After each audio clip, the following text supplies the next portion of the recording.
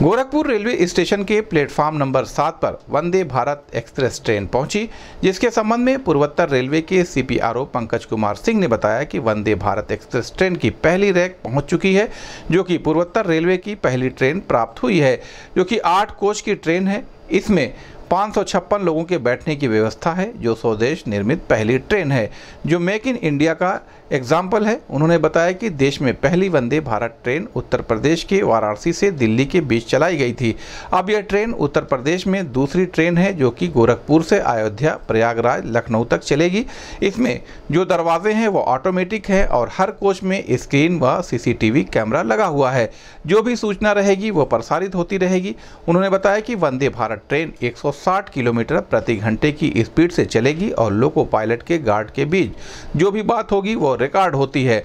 यह ट्रेन चेन्नई से चलकर गोरखपुर आई है, जिसको पीएम नरेंद्र मोदी हरी झंडी दिखाकर शुभारंभ करेंगे।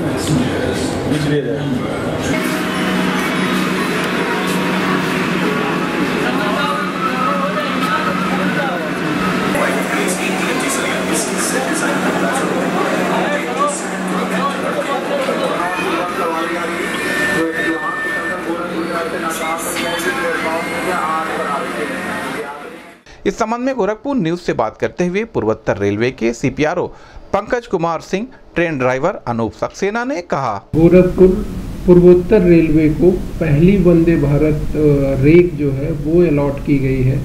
एट कोच की ये रेक है। इसमें पाँच सौ छप्पन लोगों के बैठने की कैपेसिटी है।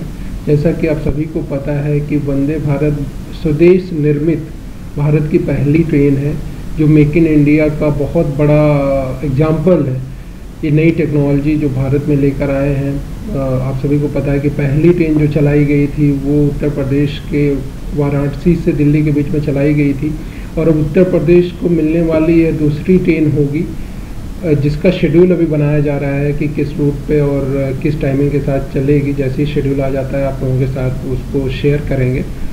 इसमें जो दरवाजे हैं ऑटोमेटिक हैं, जो इसके सेफ्टी फीचर्स हैं, वो बहुत अच्छे हैं। कवच टेक्नोलॉजी से युक्त है यह ट्रेन इसमें जो है, जो राइडिंग कंफर्ट है, वो बहुत अच्छा है। हर कोच में स्क्रीन्स लगे हुए हैं, जिसके माध्यम से जो सूचनाएँ हैं, वो मिलती रहेंगी यात्रियों को।